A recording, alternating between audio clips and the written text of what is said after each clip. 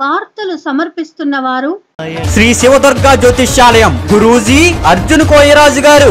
ఒక్కసారి ఈ గురూజీ గారిని సంప్రదించి చూడండి. మీ యొక్క ఎటువంటి సమస్యకైనా శాశ్వత పరిష్కారం దొరుకుతుంది. తెలంగాణ రాష్ట్రంలో కాంగ్రెస్ పార్టీ గెలవడానికి ప్రయత్నిస్తున్నప్పటికీ బెంగళూరు పట్టణంలో నోట్ల కట్టలు బయటకు రావడంతో కాంగ్రెస్ పార్టీ విశ్వరూపం తెలిసిపోయిందని రాష్ట్ర ఆర్థిక ఆరోగ్య శాఖ మంత్రి తన్నీరు హరీష్ రావు అన్నారు. కాంగ్రెస్ పార్టీ అంటే స్కామ్ కాంగ్రెస్ అని ఎద్దేవా చేశారు. మెదక్ జిల్లా కేంద్రం ఎమ్మెల్యే క్యాంపు కార్యాలయంలో మంత్రి హరీష్ రావు ప్రెస్ మీట్ నిర్వహించారు. ఈరోజు బెంగళూరు నగరంలో జరిగినటువంటి ఐటీ దాడుల్లో కాంగ్రెస్ పార్టీ నోట్ల కట్టలు బయటపడ్డాయి. ఇప్పుడే మనం పలు టీవీలో బ్రేకింగ్స్ కూడా చూస్తూ ఉన్నాం. కాంగ్రెస్ పార్టీ అక్రమంగా సంపాదించినటువంటి అవినీతి సొమ్ముతో తెలంగాణ రాష్ట్రానికి పెద్ద ఎత్తున డబ్బును బదిలీ చేసి ఈ ఎన్నికల్లో డబ్బు పంచడం ద్వారా గెలవాలని చెప్పి కాంగ్రెస్ పార్టీ ప్రయత్నం చేస్తూ ఉంది. గతంలో కర్ణాటకలో నలభై శాతం కమిషన్ గవర్నమెంట్ ఉంటే ఇప్పుడు కర్ణాటకలో యాభై శాతం కమిషన్ గవర్నమెంట్ వచ్చింది. ఇప్పటికీ వాళ్ళ అభ్యర్థులను కూడా నిర్ణయించుకోలేని పరిస్థితి. ఈ రోజుకు కాంగ్రెస్ పార్టీ టికెట్ అని డిక్లేర్ చేయాలి వాళ్ళ మనుషులు దొరుకుతలేరు. సగం సీట్లలో కాంగ్రెస్ పార్టీకి అభ్యర్థులు కరువు. ఎక్కడ ఎవరైనా టీఆర్ఎస్ వెళ్ళి వస్తారా? ఎవరన్నా వస్తే టికెట్లు ఇస్తామని చెప్పి పక్క పార్టీల దిక్కు చూసుకుంటా కాలం వెలుగుతున్నారు. వాళ్ళ పరిస్థితి ఏంటంటే ఎలక్షన్ షెడ్యూల్ వచ్చినా ఈ రోజు వరకు టికెట్లు డిక్లేర్ చేసుకోలేని పరిస్థితుల్లో కాంగ్రెస్ పార్టీ ఉంది. సగం సీట్లలో అభ్యర్థులు కరువైనటువంటి పరిస్థితి ఉంది. పక్క పార్టీల దిక్కు దిక్కులు చూస్తున్న పరిస్థితి ఇలా కాంగ్రెస్ పార్టీ పరిస్థితి. అంటే అభ్యర్థులు లేనటువంటి కాంగ్రెస్ పార్టీ డబ్బులతోని ఇవాళ గెలవాలని చెప్పి కర్ణాటకలో అక్రమంగా సంపాదించిన డబ్బులు తెచ్చి తెలంగాణలో వెదజల్లి దొడ్డిదారిని గెలవాలని చెప్పి ఇవాళ కుట్రలు చేస్తూ ఉన్నారు. సోషల్ మీడియాలో హంగామనే తప్ప ప్రజలలో కాంగ్రెస్ పార్టీకి స్పందన లేదు.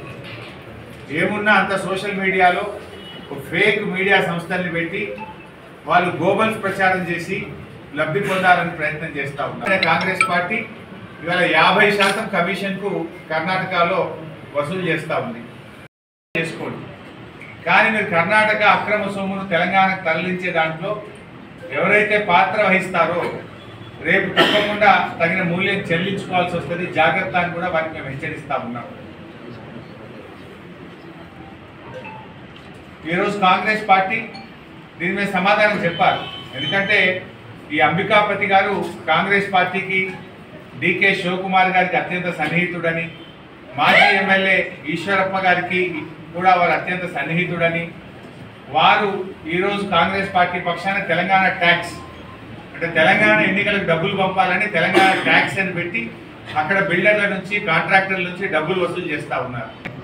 సో ఇది దీని తెలంగాణ ప్రజలు కూడా అర్థం చేసుకుంటున్నారు. రేపు తెలంగాణను కూడా అట్లే మార్చే ప్రమాదం ఉంటుంది. అందువల్ల ఇవాళ తెలంగాణ ప్రజలు ఇవాళ అర్థం చేసుకుంటున్నారు. కాంగ్రెస్ ఏందో ఇవాళ అర్థమవుతా ఉంది. కాంగ్రెస్ పార్టీ కర్ణాటకలో సంపాదించిన అక్రమ సంపాదనతో తెలంగాణలో దొడ్డిదారులు గెలవాలని ప్రయత్నం చేస్తున్నారు. కానీ వాళ్ళు ఎన్ని కళలు కన్నా అవి పగటి కళలు అయితే తప్ప తెలంగాణలో ఖచ్చితంగా ముమ్మాటికి హ్యాట్రిక్ కేసీఆర్ది బీఆర్ఎస్ ప్రభుత్వంది మీరు ఎన్ని కుట్రలు పండినా ఎంత అక్రమ డబ్బును తెచ్చి తెలంగాణలో బాధించే ప్రయత్నం చేసినా గెలుపు మాత్రం బీఆర్ఎస్ పార్టీదే.